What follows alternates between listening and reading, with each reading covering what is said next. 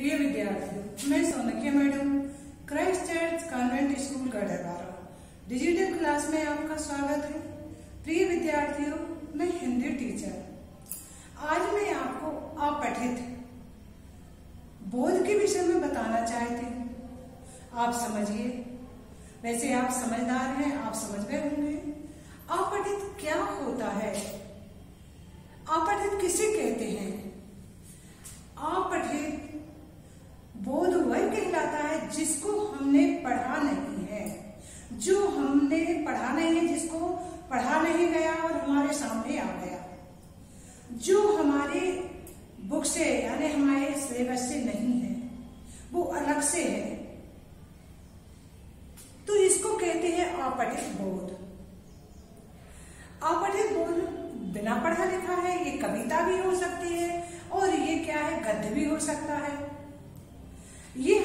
आगे है अपठित गद्यांश आता है, यानी एक पैरा आता है, और अपठित पद्यांश आता है। पद्यांश की भी चार लाइन, पाँच लाइन, एक पद आता है, उसको पद कहेंगे। उसमें से क्या होता है, हमें उसको ध्यानपूर्वक पढ़ना चाहिए। उसके नीचे कुछ प्रश्न लिखे रहते हैं, तीन प्रश्न भी हो सकते हैं, चार भी हो सकते हैं, पाँच भी हो सकते हैं उन प्रश्नों का आंसर हमें उसी गद्यांश में से देखना पड़ता है। उसी पद्यांश में से देखना पड़ता है। सबसे पहले हम प्रश्न को पढ़ करके उसमें प्रश्न दिया रहता है, उचित गद्यांश का शीर्षक बताइए। तो हम शीर्षक देखते हैं। शीर्षक हमें या तो ऊपर की लाइन में मिलेगा, या फिर नीचे की लाइन में मिलता है। शीर्षक। आप लोग ये भी करते हैं कि जो शब्द बार बार आता है, जिसके विषय में बार बार बताया जाता है, वो भी शीर्षक हो जाता है। ऐसा भी होता है वैसे अब ये भी लिखा जाता है कि इसका, इस पद्यांश की व्याख्या इतने शब्दों में कीजिए तो हमें सारसा सार सार सार लिखना पड़ता है उसमें व्याख्या में। और भी आता है, इस शब्द का पर्यायवाची क्या है तो पर्यायवाची भी दिया रहता है उसमें। तो लिख दिया और नहीं है तो पर्यायवाची आप सभी जानते हैं। तो इस तरह के गद्यांश आते हैं और इस तरह के पद्यांश आते हैं, जिनमें हमें क्या होता है? हमें देखना होता है, उसमें जो पूछा रहता है, वो बताना होता है। अब देखिए, इसमें ध्यान रखने योग्य कुछ बातें भी रहती हैं। अपठित गद्यांश और पद्यांश को एक अधिक बार, एक से अधिक बार हमें ध्यान पूर्वक पढ़ना चाहिए, ताकि विविध श्रेणी के प्रश्नों के उत्तर हम दे सकें। सामान्यता इसका शीर्षक आता है, इसका सारांश आता है और कुछ कुछ पद्यांश पद्यांश में रेखांकित शब्द आते हैं। तो रेखांकित शब्द का अर्थ पूछा जाता है पर्यावर पर्यायवाची पूछ लिए जाते हैं या उसका विलोम शब्द पूछा जाता है। प्रश्न उत्तर पूछे जाते हैं। शीर्षक अपठित अवतरण में ही निहित होता है। जो शीर्षक रहता है तो वो पैरा में ही निहित होता है। केंद्रीय भाव को समेटे हुए अत्यंत संक्षिप्त होना चाहिए। शीर्षक, ऐसा नहीं कि शीर्षक को एक लाइन में लिख देते हैं।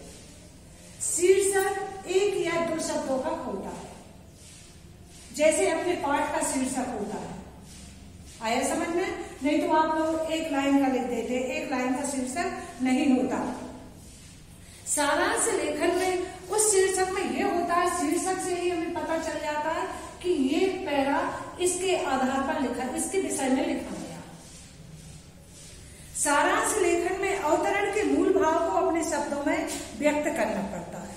जो सारांश रहता है, उसे अपने मन के भाव के द्वारा व्यक्त करते हैं। रेखांकित अंशों की व्याख्या में वर्णित विषय पर ध्यान देना चाहिए। जो रेखांकित है, उन पर हमें विशेष ध्यान देना चाहिए।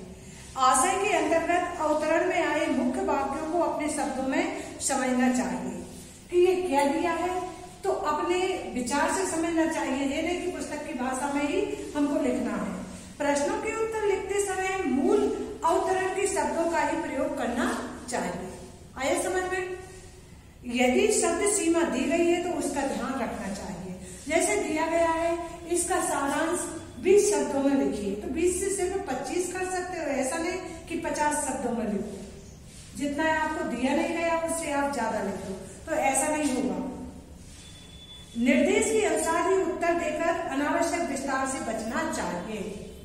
आया समझ में जिस तरह संक्षेपण दिया रहता है तो संक्षेपण का अर्थ इसी गद्यांश से है। संक्षिप्तीकरण, यानी इसमें छोटे रूप में लिखना होता है। आया आपको, अब मैं एक आपको गद्धांश पढ़ के बताती हूँ। उस गद्धांश को आपको लिखना है। समझना है कि गद्यांश होता क्या है। तो देखिए, जैसे आपको दिया है कभी कभी लक्ष्य बहुत दूर दिखाई देता है, संदेह होने लगता है कि इस लक्ष्य को प्राप्त कर लेंगे या नहीं।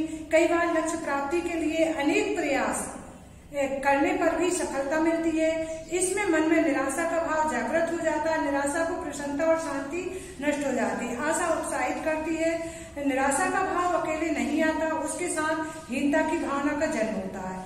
असुरक्षा का भाव आता है, तनावों का बवंडर आ जाता है, मन उत्साहहीन हो जाता है, मन में निराशा नहीं, आशा को बसाना चाहिए। जो लोग जीवन में आशावादी रहते हैं, वही विपरीत परिस्थितियों में भी लक्ष्य प्राप्ति में सक्षम हो सकते हैं।